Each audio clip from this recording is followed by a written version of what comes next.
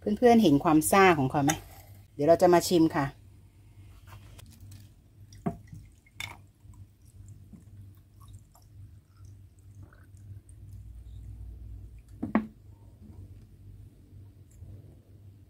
น่าดื่มไหมคะ มีเนื้อบวยด้วยนะ เพื่อนๆเห็นไหม มีเนื้อบวยด้วย อืม โอ้โห เพื่อนๆค่ะ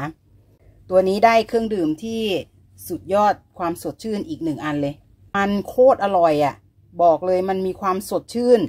มันมีความเปรี้ยวซ่าตาตื่นอะเพื่อนๆ สวัสดีค่ะเพื่อนสมาชิก วันนี้ก็กลับมาพบกับป้าหมูพาทำอีกเช่นเคยนะ มี FC นะคะ ส่งบวยอูเมชูหรือว่าบวยที่ดองเหล้าแล้วนะคะ ส่งมาให้ป้าหมูช่วยแปรรูปนะคะ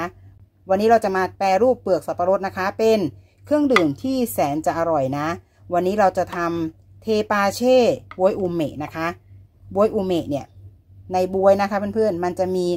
แอลกอฮอล์ที่เขาใช้ดองอยู่แล้วนะคะ เวลาที่เรานำมาทำเทปาเช่นะคะ มันจะมีแอลกอฮอล์สูงกว่าเทปาเช่ทั่วไปด้วยนะ เดี๋ยวเราจะมาดูวิธีทำกันเลยนะคะ ใช้เปลือกสับปะรดนะคะ เราจะมาล้างทำความสะอาดให้เรียบร้อยนะ ตัดแต่งส่วนที่มันเหี่ยวเฉานะคะ ตัดทิ้งไปเลยนะ เราใช้เปลือกสับปะรดที่ 100 กรัมนะคะ ใช้บวยอูเมะที่ 100 กรัมนะช่างพร้อมเม็ดได้เลยนะคะ ขั้นตอนการทำนะคะ เราก็จะใช้น้ำดื่ม 1 ลิตรนะ น้ำตาลทราย 200 กรัมนะคะ เราใช้น้ำตาลทรายขาวนะ มันจะได้สีเทปาเช่ที่สวยนะคะ เราจะนำน้ำหนึ่งลิตรนะคะ ไปต้มกับน้ำตาลทรายให้ละลายนะ แล้วก็ปล่อยให้เย็นสนิทนะคะเพื่อนๆ เดี๋ยวเราจะมาดูในขั้นตอนต่อไปเลยค่ะ เปลือกสับปะรดที่เราล้างทำความสะอาดแล้วนะคะ เราเราจะชั่งที่ 100 กรัมนะ แล้วมาหั่นเป็นชิ้นเล็กๆ แบบนี้นะคะ ส่วนบวยอูเมะนะคะ เราชั่งที่ 100 กรัมนะ แล้วก็มายีนะคะ ยีแบบนี้เลยนะ ยีให้เละๆแบบนี้เลย ไม่ต้องปั่นนะเพื่อนๆนะ ใช้ช้อนสับๆยีๆแบบนี้เลยนะคะเนี่ยสับออกมาแบบนี้นะกลิ่นหอมมากเลยนะคะ มันจะหอมกลิ่นบวยแล้วก็หอมกลิ่นแอลกอฮอล์ที่เขาใช้ดองนะคะ เราใช้น้ำหนึ่งลิตรนะคะ ไปต้มกับน้ำตาลทรายให้ได้น้ำเชื่อมนะคะ แล้วก็ปล่อยให้น้ำเชื่อมเย็นสนิทก่อนนะคะ นี่นะคะ เราใช้น้ำตาลทรายขาวไปต้มกับน้ำหนึ่งลิตรนะ เราจะได้น้ำเชื่อมที่ใสแบบนี้นะคะ สีสวยนะ ถ้าใช้น้ำตาลทรายแดงนะคะ สีเทปาเช่มันจะค้ำนะคะ ต้องพักให้น้ำเชื่อมเย็นสนิทเท่านั้นนะคะถึงจะมาสู่ขั้นตอนการหมักนะ เราจะใช้โหลแก้วนะคะ เราจะใช้โหลแก้วในการหมักนะคะ เทเปลือกสับปะรดลงไปในโหลเลยค่ะ เทบวยอูเมะลงไปในโหลเลยค่ะ ในขั้นตอนนี้เราจะเทน้ำเชื่อมลงไปในโหลเลยค่ะ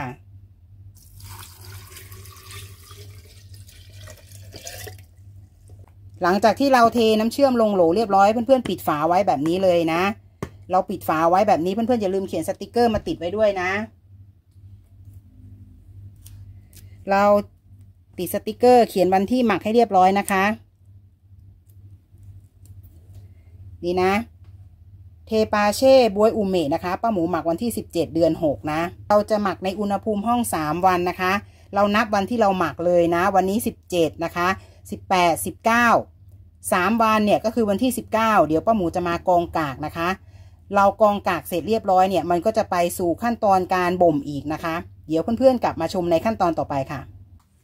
วันนี้ป้าหมูจะมาอัปเดตเทปาเช่บวยอูเมะนะคะ เราหมักกากมาได้3คืนแล้วนะคะ เพื่อนๆ เพื่อนๆอย่าลืมนะคะป้าหมูแนะนำข้อสำคัญก็คือว่า เวลาที่เราหมักเสร็จแล้วนะ ผ่านไปหนึ่งคืนให้เรามาเขย่าโหล ก็คือเขย่าแบบนี้นะคะ เขย่าแบบนี้ เพื่อเป็นการเพิ่มออกซิเจนภายในโหลนะ แล้วก็ ยีสต์เขาจะได้ทำงานได้ทั่วถึงนะคะ เห็นไหมแบบนี้ ถ้าเราไม่เขย่าโหลนะเพื่อนๆนะ มันจะเป็นฝ้าขาวที่เหนือน้ำนะ ก็คือยีสต์เนี่ยมันจะมากองที่เหนือน้ำด้านล่างเนี่ยมันก็จะเป็นแค่น้ำเชื่อมนะคะ แต่ถ้าเราเขย่าเขาทุกวันเนี่ย ยีสต์มันกระจายตัวทั่วถึงนะคะ มันมีออกซิเจนภายในโหลเนี่ยอากาศมันโฟนะคะ มันก็ทำปฏิกิริยาได้เต็มที่นะเพื่อนๆนะ อย่าลืมนะคะ ไม่ว่าจะหมักเทปาเช่รสชาติอะไรก็ตาม พอผ่านไปหนึ่งคืนเนี่ย เพื่อนๆก็มาเขย่าโหลแบบนี้นะเขย่าแค่วันละหนึ่งครั้งพอ ห้ามเอาช้อนลงไปคนเด็ดขาดนะคะ มันจะเกิดเชื้อราได้นะ วันนี้ป้าหมูหมักกากครบสามวันแล้ว เดี๋ยวเราจะมาเทกองกากออกนะคะ แล้วก็บ่มในขวดต่อนะ เราจะเทกองผ่านกระชอนไปเลยค่ะ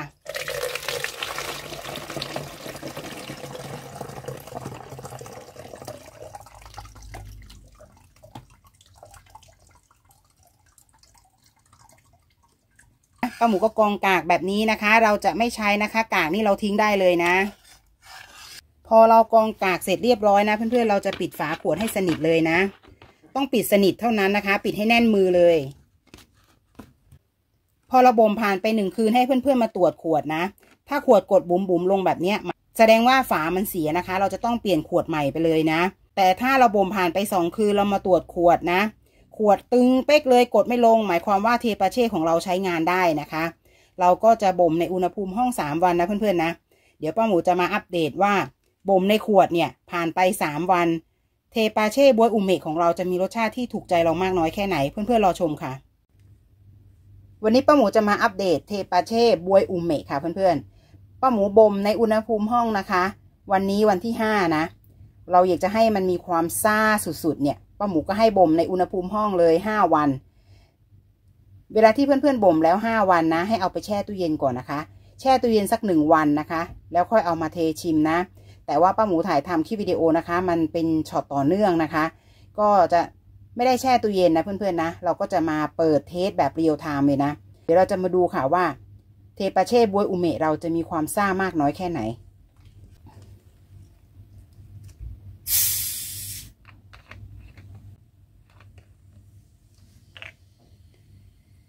เพื่อนๆเห็นความซ่าของเขาไหมเดี๋ยวเราจะมาชิมค่ะ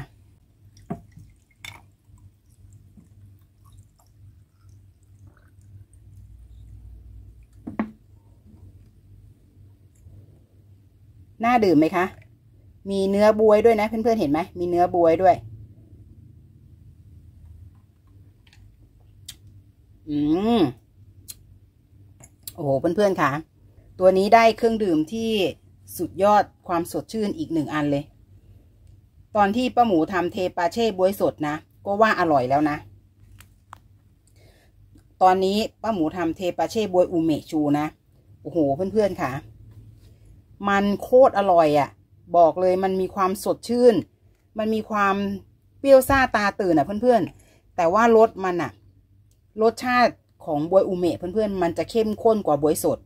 มีความเข้มข้นเพราะว่า บวยอูเมะเนี่ยมันผ่านการดองแอลกอฮอล์มาแล้ว พอเราเอามาแปรรูปเป็นเทปาเช่บวยอูเมะนะเพื่อนๆเลย อร่อยสุดยอดมากๆ ไม่รู้จะอธิบายยังไง อยากให้ได้ชิมจังป้าหมูจะถ่ายทำเสร็จนะคะ จะรีบตัดต่อคลิปให้เร็วที่สุดเลย เพื่อนสมาชิกที่ดองเหล้าบวยอูเมะไว้นะ จะได้เอามาแปรรูปนะคะ ขอบพระคุณเพื่อนสมาชิกสองท่านด้วยนะคะ ที่อนุเคราะห์บวยอูเมะที่ดองแล้วนะคะ ส่งมาให้ป้าหมูสองท่านนะก็สองถุงใหญ่เลยนะป้าหมูก็ได้มาทำคลิปสอนเพื่อนๆแบบนี้นะคะ ขอบพระคุณมากเลยค่ะ มีสมาชิกหลายท่านนะคะ ชอบเข้ามาถามว่าอุ้ยดองเสร็จแล้ว